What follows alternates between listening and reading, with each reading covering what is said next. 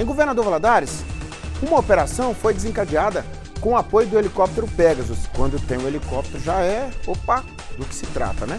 Um homem que estava indo ao encontro de um amigo beneficiado pela saída temporária no presídio da cidade, ele foi preso com celulares e munições tentando fugir pela linha férrea no bairro Santos Dumont. É, deixa eu chamar o Ronerson Pinheiro aqui, é, fugindo pela. É, é, é, na altura do Santos Dumont 2, né? Santos Dumont 2, né?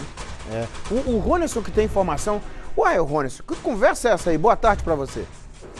Nico, boa tarde para você, a todos que nos acompanham aqui no Balanço Geral.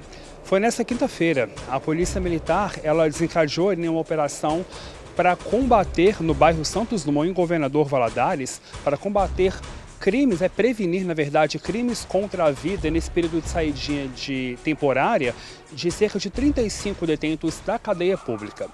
Durante uma operação, Nico, os agentes eles avistaram um indivíduo que estava saindo da passarela que passa sobre a linha férrea, uma ligação ali entre o bairro Santos Dumont e o conjunto CIR, aqui em Governador, Valadares. Quando ele estava em encontro ali, indo ao encontro do seu amigo, é, e os policiais avistaram, eles avistaram os policiais na verdade, eles pularam a passarela e fugiram. Mas eles tentaram fugir. Um conseguiu fugir, o outro foi abordado. Com o indivíduo que conseguiu fugir, Nico, ele acaba deixando para trás um telefone celular e um cartão de crédito.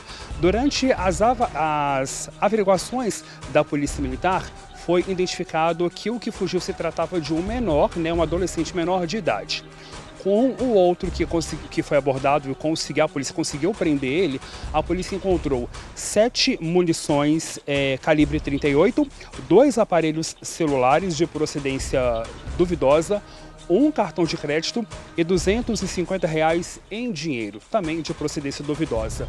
Tanto o rapaz que foi abordado conseguiu ser preso né, nessa operação de conjunto que utilizou o helicóptero Pegasus da Polícia Militar e os militares em terra, o material apreendido e o rapaz foram encaminhados para a delegacia de polícia. Nico, eu volto com você.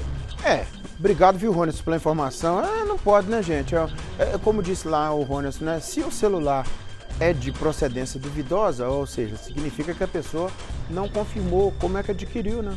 É, não sabe se tem nota, não conseguiu apresentar a nota.